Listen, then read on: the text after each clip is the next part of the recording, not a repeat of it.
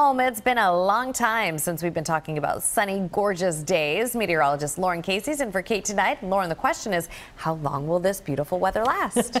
I can guarantee one day, Jess. Okay, good. One day to guarantee, but we'll likely see a few more as we head into the upcoming week. Today wasn't too shabby before we saw some of that rain and thunderstorm activity develop. We started off at 63 degrees this morning in Philadelphia. That was our coolest low temperature since June 18th. Felt kind of refreshing. 83 our high temperature actually below normal for us. Our normal now 85 degrees and temperatures a lot of 60s on the board. We're at 67 in Allentown. We've turned over to clear skies after rain rolled through earlier this evening. 70 in Philly with a few clouds hanging on. 67 with clear skies right now in Wilmington and getting a live look at Center City, Philadelphia. Didn't really see much storm activity. A couple of drip drops working on through throughout the evening. We did have a broken line of rainfall and thunderstorm activity move through the area earlier this evening, but a lot of rainfall this month so far has not skipped over Philadelphia. We're closing in on eight inches of rainfall for just this month, just so far. That's nearly six inches above the normal. And Storm Scan 3 showing us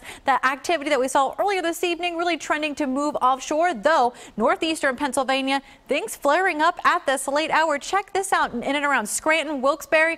Those storms popping on up, moving themselves towards Carbon and Monroe counties. So you're likely hearing those rumbles of thunder in Mount Pocono. And those storms look to kind of cruise on by or at least pass to your north as we head into the next hour and two. A little dose of light rain moving through Cape May County. That has since moved offshore. Had a little light rain at our Atlantic County beaches as well. And also Delaware Beach is seeing a little bit of rain coming through and a rumble of thunder near Bethany Beach. As we head into the overnight period, going to keep a chance of a hit or miss shower or thunderstorm in the forecast. Otherwise, partly cloudy, low temperature down at 67 degrees. And for our day tomorrow, beautiful. Some morning fog, then mostly sunny, 85 degrees with decreasing humidity as we head into the afternoon. But dew points right now, we're not dealing with oppressive humidity, but it's pretty sticky out there with dew points up there in the mid to upper 60s. Those will start to decline as we head through the day tomorrow. We'll push back into the just a bit muggy category by Wednesday, likely in the pleasant category, and by Thursday,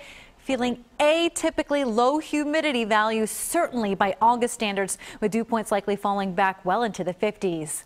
Checking in on the tropics, we're quiet in the Gulf of Mexico, have a disturbed area of weather, though, over the Lesser Antilles in the eastern Caribbean. 60% chance of development within the next five days. This system looking much more organized, still well out by the west coast of Africa, but now a 90% chance of development within the next several of days. So we'll have to watch those in the coming days for potential impacts. But down the shore tomorrow.